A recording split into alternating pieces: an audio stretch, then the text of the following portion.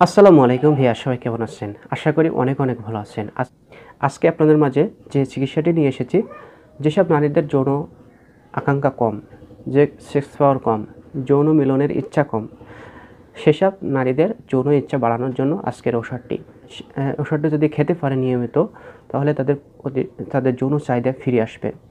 তাদের কামশক্তি বৃদ্ধি হবে এবং স্বামীর সাথে মিলিত হওয়ার জন্য উতাল পাতাল হয়ে যাবে। অনেক সময় অনেক নারীদের সেক্স কম থাকে, সেক্ষেত্রে তাদের স্বামী স্ত্রীর মিলনে অশান্তি হয়ে থাকে। তা বন্ধুরা, আজকের ওষুধটি যদি নিয়মিত খেতে পারে, সেই নারীর সেক্স পাওয়ার অতিরিক্ত বেড়ে যাবে। যদি আমার চ্যানেলে নতুন সদস্য হয়ে থাকেন, তাহলে চ্যানেলটি সাবস্ক্রাইব করবেন। যদি অলরেডি সাবস্ক্রাইব করে থাকেন, তাহলে আপনাদের জানাই অনেক অনেক সালাম, শুভেচ্ছা, অভিনন্দন। তা বন্ধুরা, চলেন শুরু করি। বিয়ের পরে, অনেক সময় বিয়ের পরে মেয়েদের, যেসব মেয়েদের সেক্সুয়ালি প্রবলেম রয়েছে, যৌন চাহিদা কম স্বামীর সাথে যৌন মিলন করতে চায় না স্বামীর সাথে যৌন মিলন করতে গেলে রাগারাগের সৃষ্টি হয় সেসব ক্ষেত্রে একটা সংসারে অশান্তি সৃষ্টি হতে পারে। যদি স্বামী স্ত্রী দুইজনের যৌন চাহিদা ঠিক থাকে, তাহলে সংসারে শান্তি ফিরে আসে। স্বামীর অতিরিক্ত যৌন চাহিদা রয়েছে, স্ত্রী নাই, সেক্ষেত্রে সংসারে কিন্তু অশান্তি লেগে থাকে।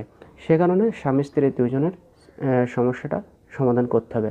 ঔষধটির নাম হচ্ছে এপ কোহস কোহস ইবনিসিনা হার্বাল ডিভিশনের একটি ঔষধ, আর এর গ্রুপ নেম হচ্ছে ব্ল্যাক কোহস আর এই ওষুধটি খাওয়ার কারণে তাদের মেনোপোজ সিনড্রোমকে ঠিক করবে। যদি অনিয়মিত মাসিক হয়ে থাকে, অনিয়মিত মাসিক দূর করবে, অতিরিক্ত ঘাম দূর করবে।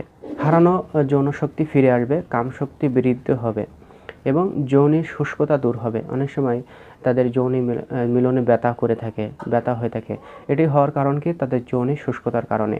এই যৌনি শুষ্কতা দূর হবে এই এই ওষুধটি খাওয়ার কারণে এবং যৌনিকে তেলা করবে এবং যৌন চাহিদা বৃদ্ধি করবে।